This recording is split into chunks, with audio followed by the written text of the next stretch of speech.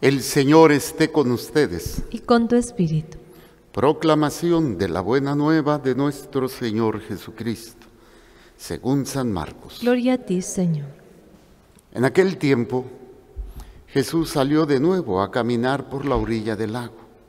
Toda la muchedumbre lo seguía y él les hablaba. Al pasar vio a Leví, Mateo, el hijo de Alfeo, sentado en el banco de los impuestos y le dijo, sígueme.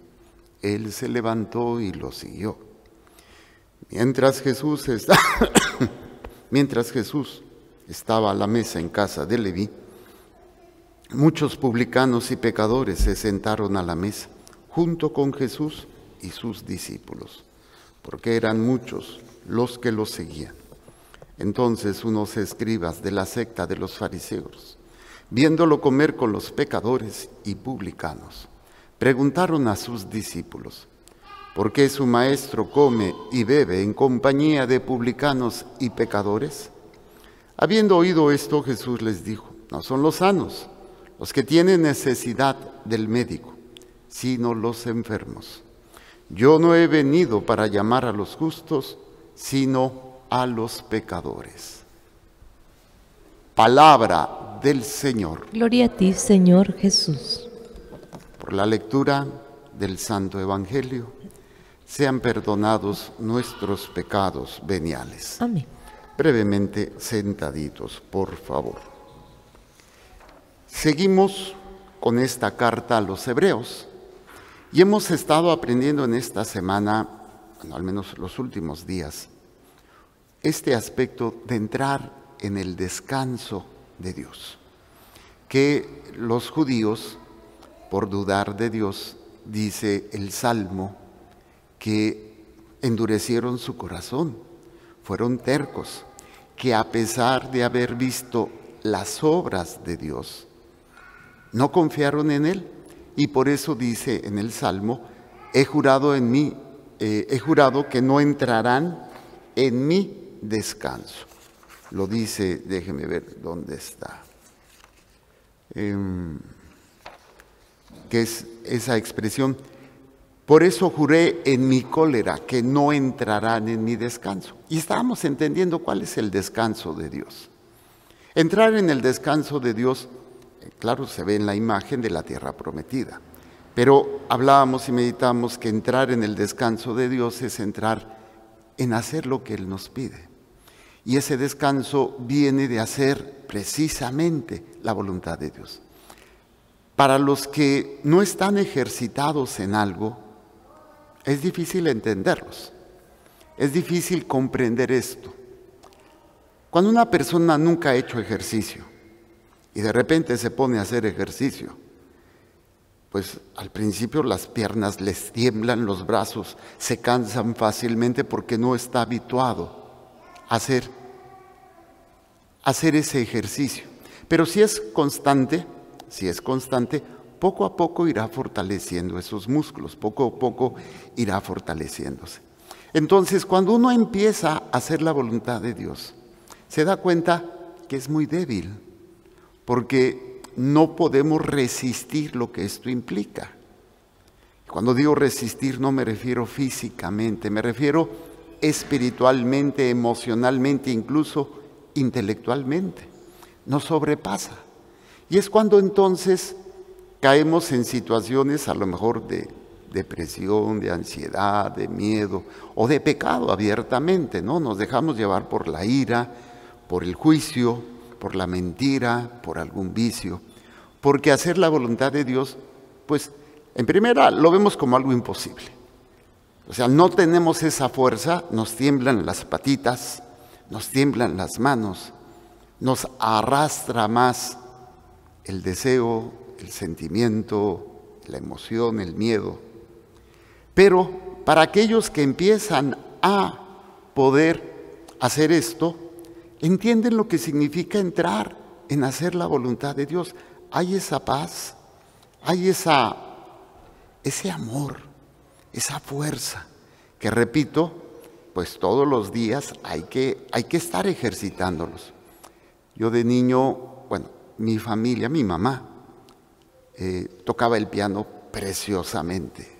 Me encantaba oírla a mi mami. Y les enseñó a mis otros tres hermanos. Yo fui el rebelde sin causa. Ay, ya, ya, ya, ya, a mí no me gusta. Y ya después andaba detrás de ella para que me enseñara. Y recuerdo que ella nos decía que cuando una persona se dedica a la música, mínimo son ocho horas diarias, diarias de practicar la música. Tiene sus etapas el estudio de la música, ¿no? Primero, pues los ejercicios y pues los dedos se te acalambran porque no estás acostumbrado. Luego, aprender a leer las notas. Luego, aprender pues a interpretarla y luego los tiempos, o sea, aplicar el tiempo de cada nota. Luego, pues ya este, la interpretación, aprenderte de memoria la partitura y luego la interpretación. O sea, es un proceso. Y decía ella que cuando uno tiene oído para estas cosas, cuando una persona que es concertista, por ejemplo, deja de practicar un día, él se da cuenta. La gente no se da cuenta. Cuando deja de practicar más tiempo, pues los que saben de música se dan cuenta. Y cuando deja de practicar, todo el mundo se va a dar cuenta. Entonces, así como todo es un proceso de aprendizaje, de crecimiento, de fortalecimiento espiritual, lo mismo, digo, de, fortalecimiento y crecimiento en, el, en la interpretación en la música es lo mismo a nivel espiritual.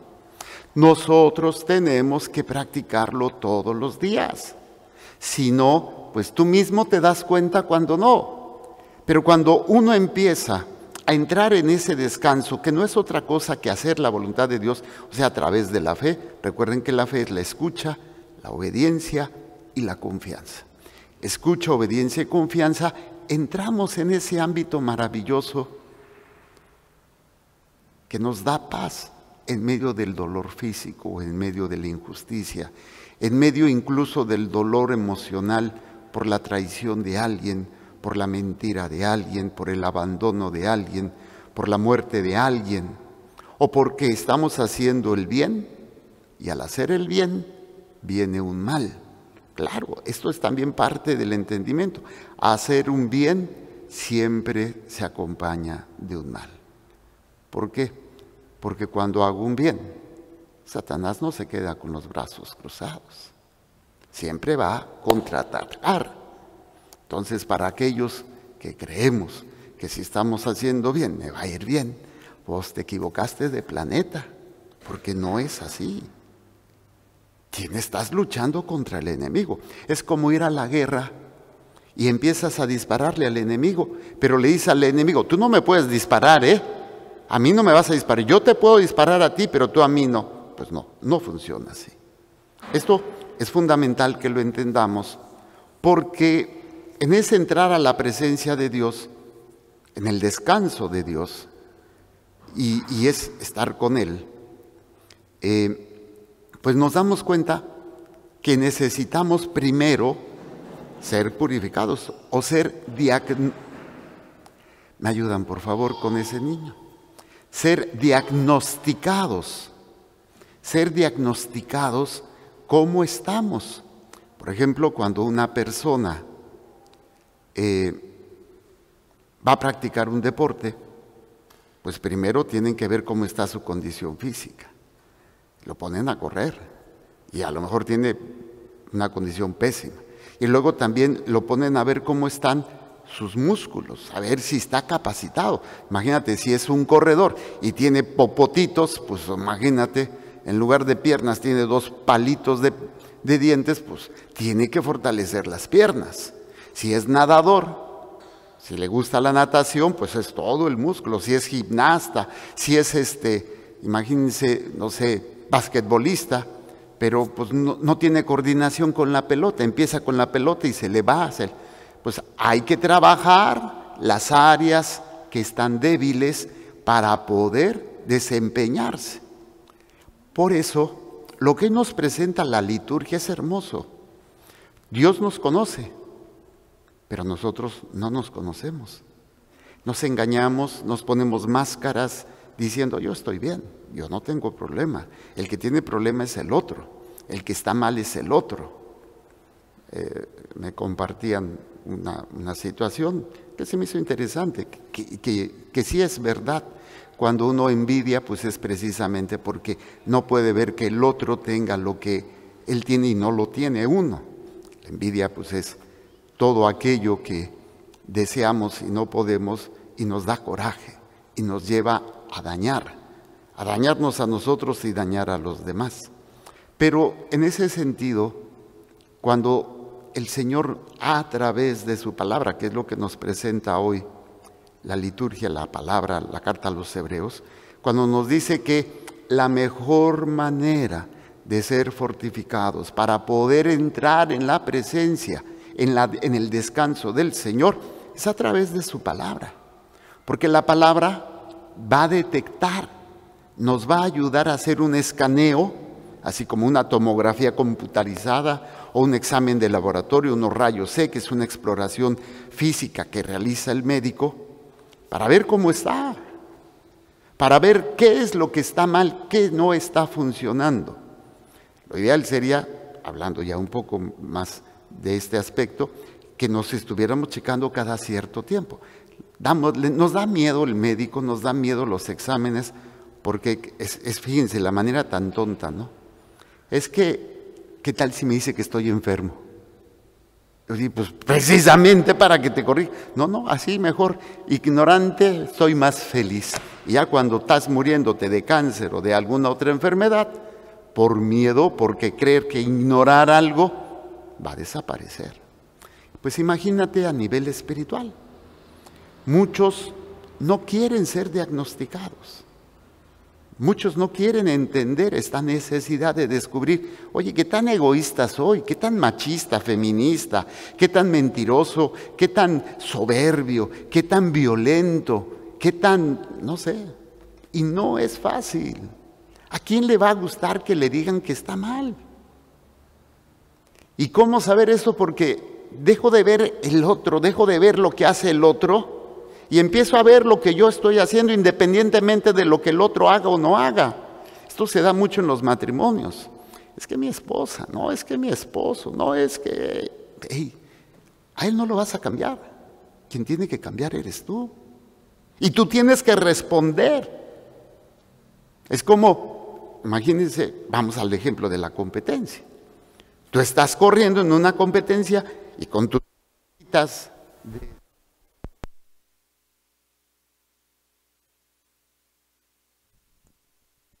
Se me apagó la pila. Espérenme, déjeme darle aquí a la monjita para que le ponga pila a esta cosa. Gracias.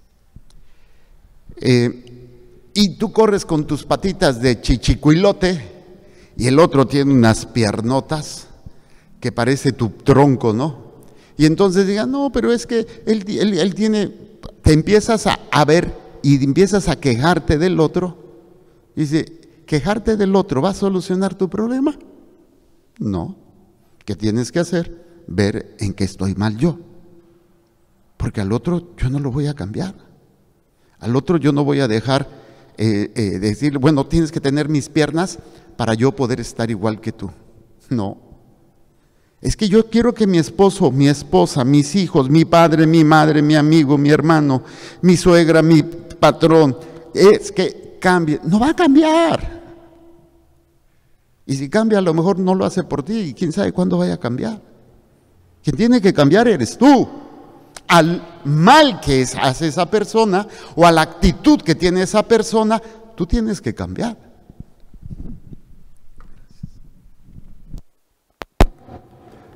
Decía mi mamá, para que haya un pleito, hay uno que agrede y otro que responda. Así de fácil. Entonces, ¿qué es lo que nos presenta hoy la palabra de Dios? Un examen espiritual. Y este examen espiritual no se da en un solo momento, es toda la vida. Es toda la vida. Y esto se da a través de la palabra. Por eso podemos entender lo que dice la carta a los hebreos. La palabra de Dios es viva. Es viva y es eficaz. más penetrante que espada de doble filo. O sea, la única forma que nosotros tenemos para enfrentarnos a nosotros mismos no es lo que dice un movimiento, una ideología, un pensamiento social, no es lo que dice un sistema económico, lo que dice aquel que te ha creado. ¿Quién mejor que aquel que te creó puede decirte para qué fuiste creado? Y ese es el planteamiento. Yo no voy a ir a que me diga cómo tocar el piano una persona que ni sabe música, nunca ha tocado nada. No voy a ir a que me enseñe a tocar piano el plomero, o no voy a ir a que me haga un examen médico o un mecánico. O sea, tengo que ir, o tengo que acercarme a aquel que me conoce y aquel que sabe la razón de mi existencia y cómo debo de vivir. Por eso, solamente a través de la palabra podemos ser cada vez mejores. Pero desgraciadamente la mayoría de nosotros solamente nos sentamos. A veces medio escuchamos, pero no nos dejamos cuestionar y no cambiamos o no luchamos por cambiar. Nos aferramos a nuestra humana voluntad y todo cambio implica sufrimiento, constancia, humildad. ¿Sí? Pero como no estamos, o sea, imagínense, ok, ya no voy a hacer así. Y quiero hacerlo, pero mi alma no tiene, mi espíritu no tiene la fortaleza. Viene otra vez la misma situación a la que me estoy enfrentando y caigo otra vez en la respuesta, en la violencia, en el coraje, en esto. ¿Por qué? Porque pues todavía mi, mi humana voluntad no está fortalecida en la divina voluntad, en esa, en esa empezar a ejercitarnos. Entonces, la palabra de Dios es viva, eficaz y más penetrante que una espada de dos filos. Llega hasta lo más íntimo del alma. Todo examen que hace un médico está tratando cada vez de llegar hasta lo más esencial del funcionamiento del cuerpo. Hay pruebas que ayudan a detectar cómo están ciertos órganos, pruebas de funcionamiento hepático, pruebas de función renal, eh, pruebas tiroideas y así, para tratar de ver, y cada vez pues la ciencia avanza, la técnica, ¿no? Cada vez se pueden ir investigando pues elementos más fundamentales, por ejemplo, los cromosomas, hasta eh, las moléculas, ¿no? Es, es algo muy interesante. Les digo esto porque pues, un tiempo trabajé como médico. Bueno, pues Imagínate que la palabra de Dios penetra hasta tu alma. Tus, tus más profundos y verdaderas situaciones que te mueven a actuar de tal o tal manera. Y que tiene que ver con lo que no hemos sanado, que tiene que ver con lo que no hemos con lo que nos hemos cargado, tal vez desde nuestra infancia, odios, traumas, resentimientos, falta de amor, falta de esto, falta del otro o excesos de. Y es la palabra de Dios que va a ir trabajando. Por eso es importante muchas veces el acompañamiento espiritual, el, el ir creciendo en ello. Entonces llega hasta lo más íntimo del alma, hasta la médula de los huesos. Y aquí viene el elemento de diagnóstico descubre, descubre tus negras intenciones, descubre tus emociones, descubre tus pensamientos. ¿Por qué? Porque los has tapado, porque les has prestado o le has puesto una máscara para que engañarte a ti mismo, o porque el mismo demonio, la carne y el, y el mundo, le pone esa máscara y te dice, no, todo está bien. A mí me da tanta tristeza, pena, y, dolor. Estas personas que se están dejando engañar por esta cuestión de la ideología. Creen que eso es libertad. Y cuando se den cuenta, de verdad, a lo mejor ya va a ser muy tarde. Toda la máscara, todo el engaño con el que están siendo atrapadas y que todavía están haciendo que otros caigan en ello, ¿no? También el materialismo, el machismo estúpido y todas estas cuestiones que son máscaras, en donde nos hacen creer que ahí voy a encontrar la felicidad, voy a encontrar la paz, voy a encontrar esto, voy a encontrar lo otro, y no es cierto, no voy a encontrar nada, al contrario. Pero, pues esa es la circunstancia.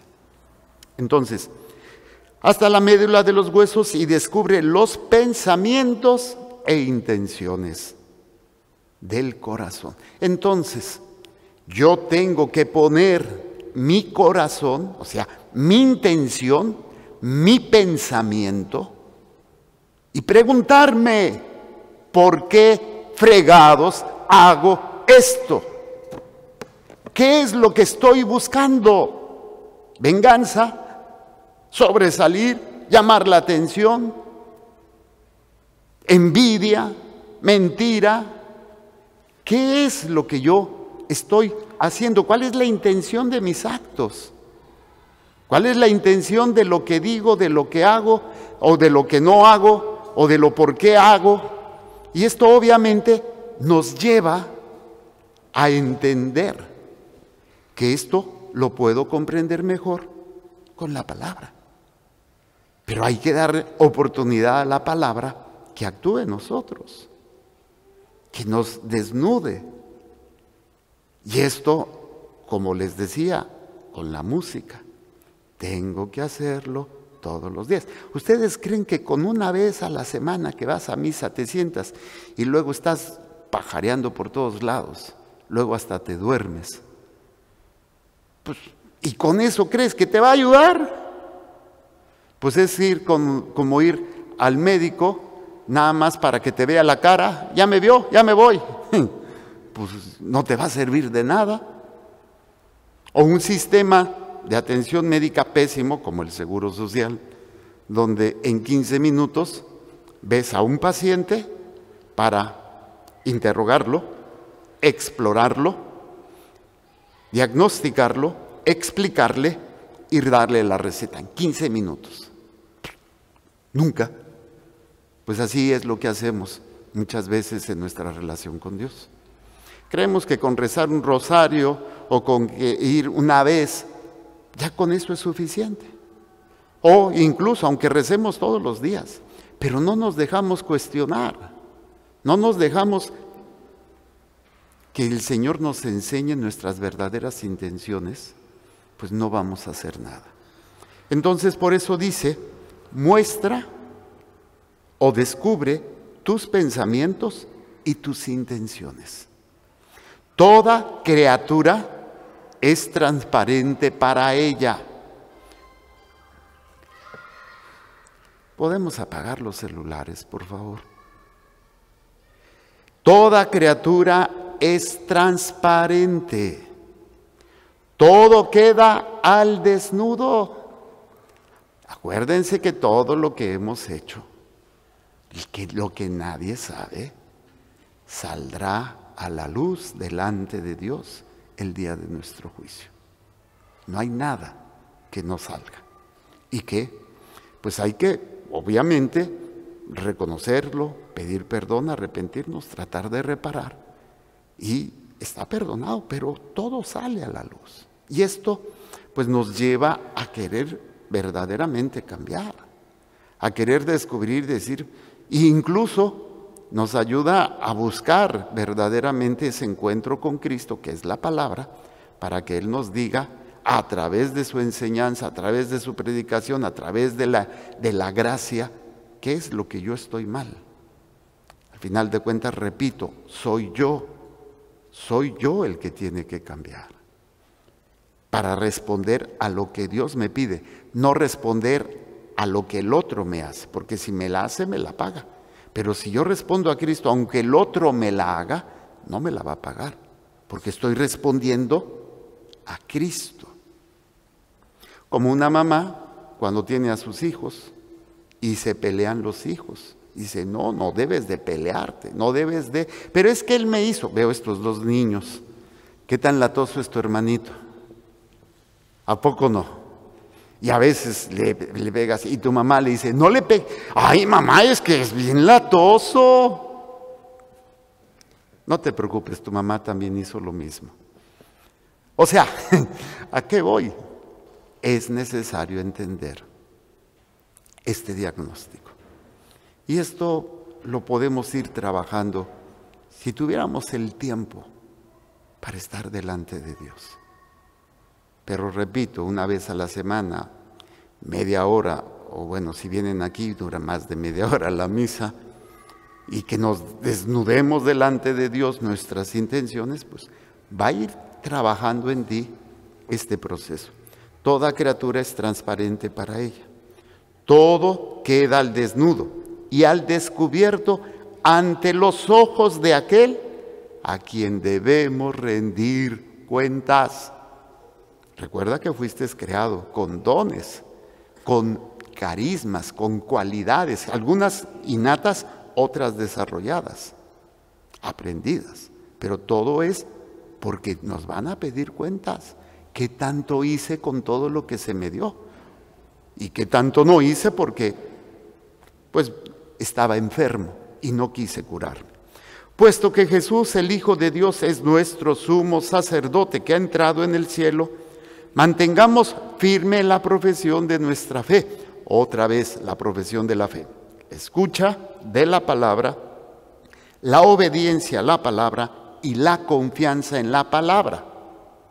Para poder nosotros mantenernos y estar continuamente en el descanso, en esa presencia, en esa vida de gracia.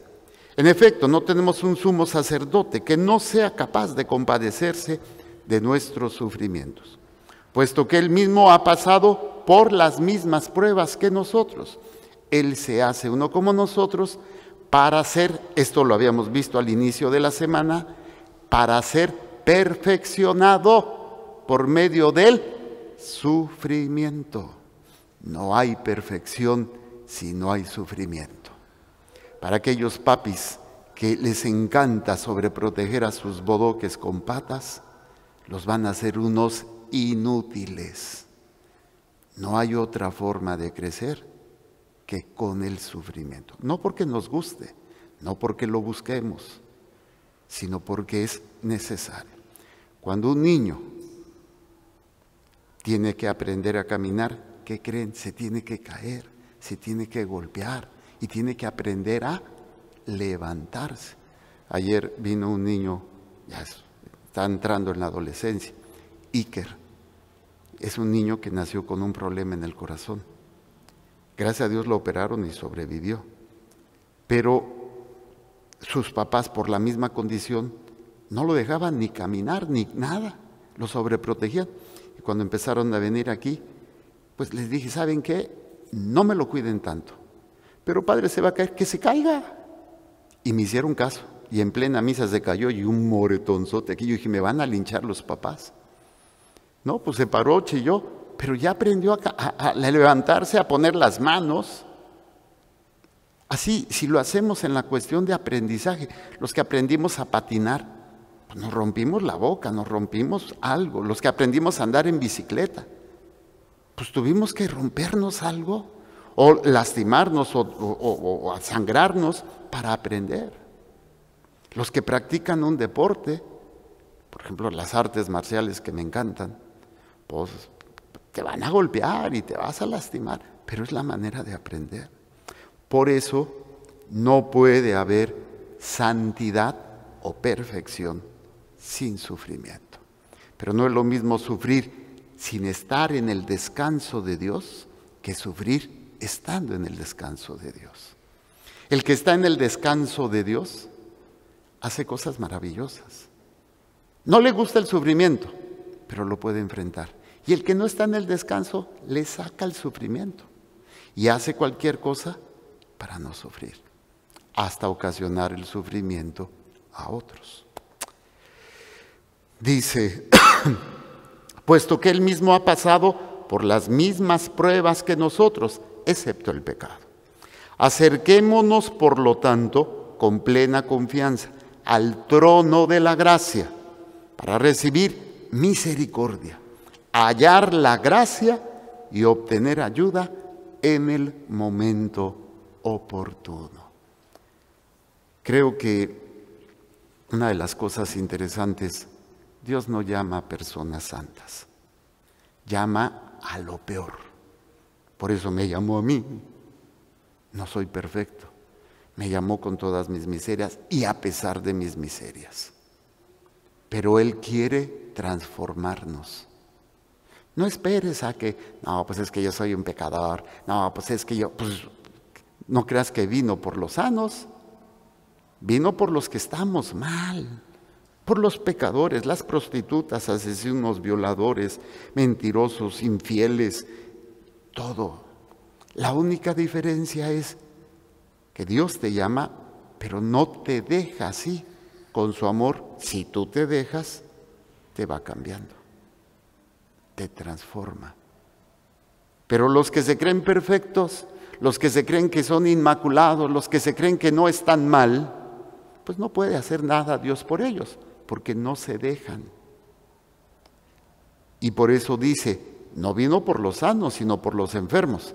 Todos estamos enfermos, pero no todos reconocemos que estamos enfermos. Por eso es importante el examen que hace la palabra de Dios en nuestras vidas para darnos cuenta y empezar a ser enfermos y Él nos llama para sanarnos, para cambiarnos, purificarnos. Y por eso en el Evangelio vemos esta escena hermosa de un vendepatria, un traidor, que es Leví, Mateo, que es lo que hace, es recaudador de impuestos. O sea, le cobra impuestos a, su a sus compatriotas para dárselo al imperio romano. Y aparte era jefe, jefe de todos los, todos los este, recaudadores de impuestos. Pues se, tenía su la nota este compadre. Y lo llama a él cuando para los judíos era de lo peor. Y todavía Jesús no les dice a ninguno, bueno, para acercarse tienen que ser puros, inmaculados y santos. Los llama y de estar con Él, aquí no lo, no, no lo saca, pero de estar con Él, Mateo se va a levantar y le va a decir, Señor, todo lo que he robado, voy a devolver cuatro veces lo que he robado. Y de la mitad de mis bienes se lo voy a dar a los pobres. ¿Qué fue lo que pasó con Mateo? un examen, un escaneo. Soy un desgraciado, pero quiero cambiar. Por eso es hermoso el encuentro personal con Cristo.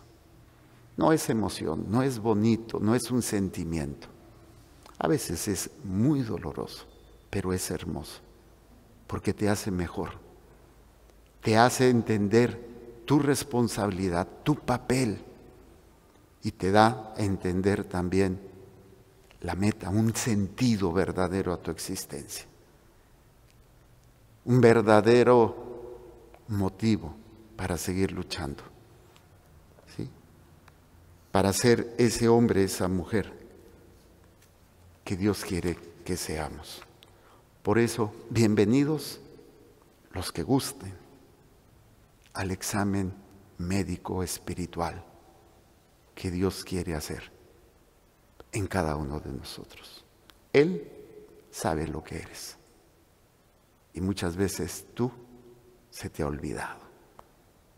Porque todas esas máscaras, todas esas mentiras que tú has puesto y que no te permiten ver tu enfermedad, tu daño y el daño que estás haciendo a los demás. Hagamos un momento de silencio.